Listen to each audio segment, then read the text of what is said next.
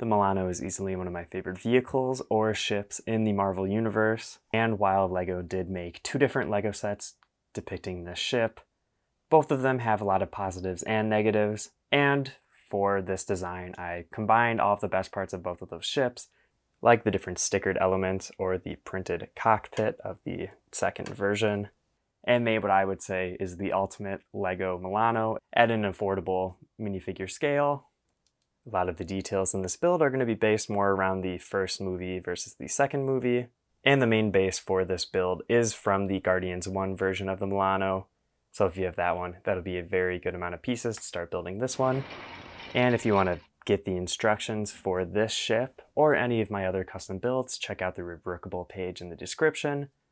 This will be free for the next week, and after that, I'll be charging $1, which is a very fair price for the size of this build, and will go to support me in buying new pieces for different designs I'm going to be putting out in the future. Let's go ahead and check out all the different details in this build. Like in both official models, you can adjust all of the exterior wings.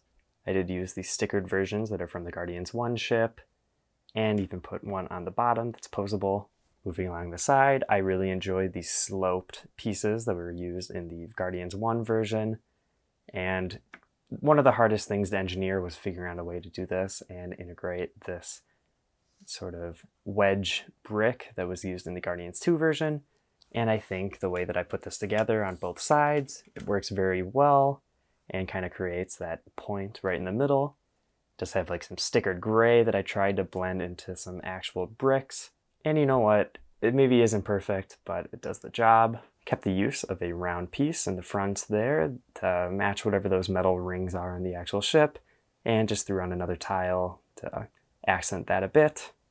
I used the symbol from the Guardians 2 Milano, and overall the wing shaping has just become much more smooth and the colors are placed a little bit more accurately since my first model.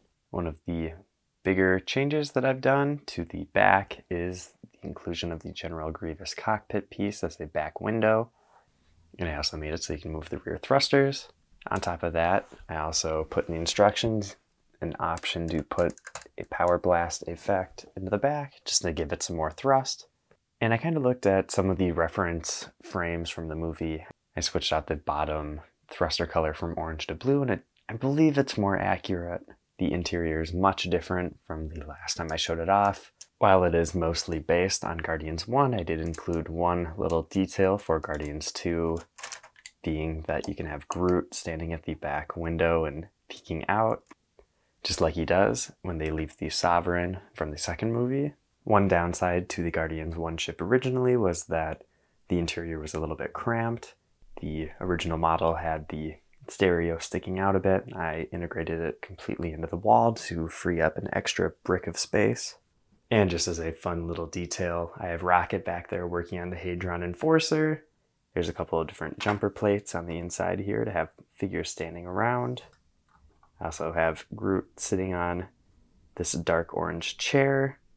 This is an optional part for the build and that is just because it is a bit of a rare part. It only came in one of the older Millennium Falcon ships, but the color is perfect and adds a little bit more detail than what I included in the instructions, which is just a little stool. The main focal area of this back interior is the table seen throughout the movies. For instance, when Bereet and Peter are talking, and you can also see on the back wall there, I also have the little TV screen for the cosmic Zoom call with Yondu. This table is a pretty simple build, but is pretty effective for what is seen in the movie. It uses light aqua, I think the color is, and I have these quarter circle tiles on there. In the instructions, I just did the one by two tiles. Because this table is kind of a weird shape, I kind of like having that extra detail, but this would obviously save parts. And you know, it could go either way what you want. I also included just a jumper tile on there just in case you wanted to put whatever on the table. The other wall of the ship is where it gets a little bit more interesting. You can see I have the cassette player right there. You can use really any tile with the cassette printing on this. I think this is the one from the Microfighter. And I created the drawers and like just some shelving. This kind of is where the gift from his mom was. I also continued on the joke from a lot of like Marvel sets where they have a fire extinguisher. And the last bit of interior, and it's probably the area that I'm most excited about, is the cockpit area. It uses this great dome piece from the Guardians 2 version, as well as both of the Benatar builds have had this. It's a really great piece and very specialized for the Guardian ships. And I was able to squeeze in three custom built chairs. It's not 100% accurate, you know, you're supposed to have two side by side at the front, but I am still pretty happy that I was able to put some pretty detailed side builds and fit all of those characters right in that area. Chairs also are able to be removed pretty easily. And for these back two, they have a little bit less detail just because I needed to squeeze them in against the walls. I always think my favorite challenges when it comes to Lego are some of those smaller builds. And I always put in so much effort to get all the small details and into a very small build as I can, especially in the case of this chair. Like you can see in this version right here, it has that ingot piece for that headrest.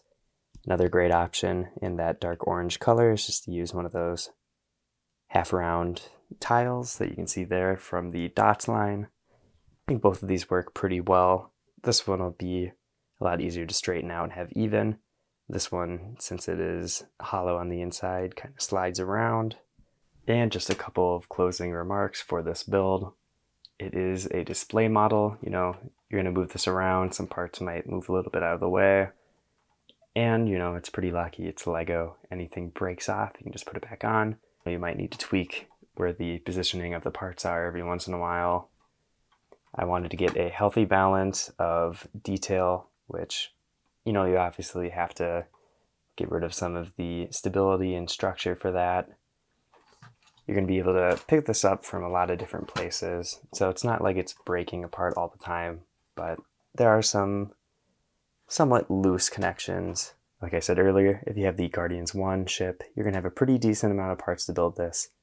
And if you have both versions of the Milano, that's going to be very helpful too.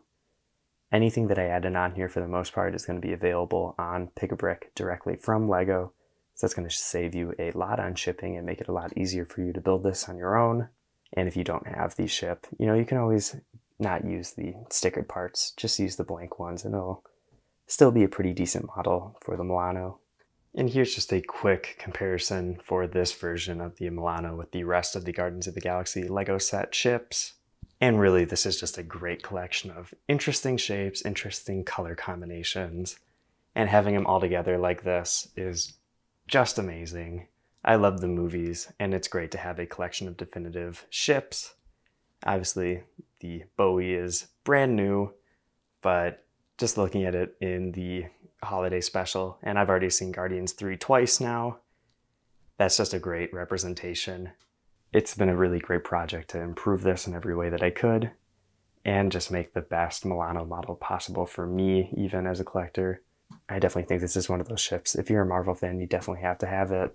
That's always my main focus is to make a really great product and also something that I'm going to be happy with because most of my builds are going to be going right into my collection. If you like this video, don't forget to subscribe. And if you want to see more of LEGO Marvel builds or any other sort of LEGO content, check out all of the other videos on my channel.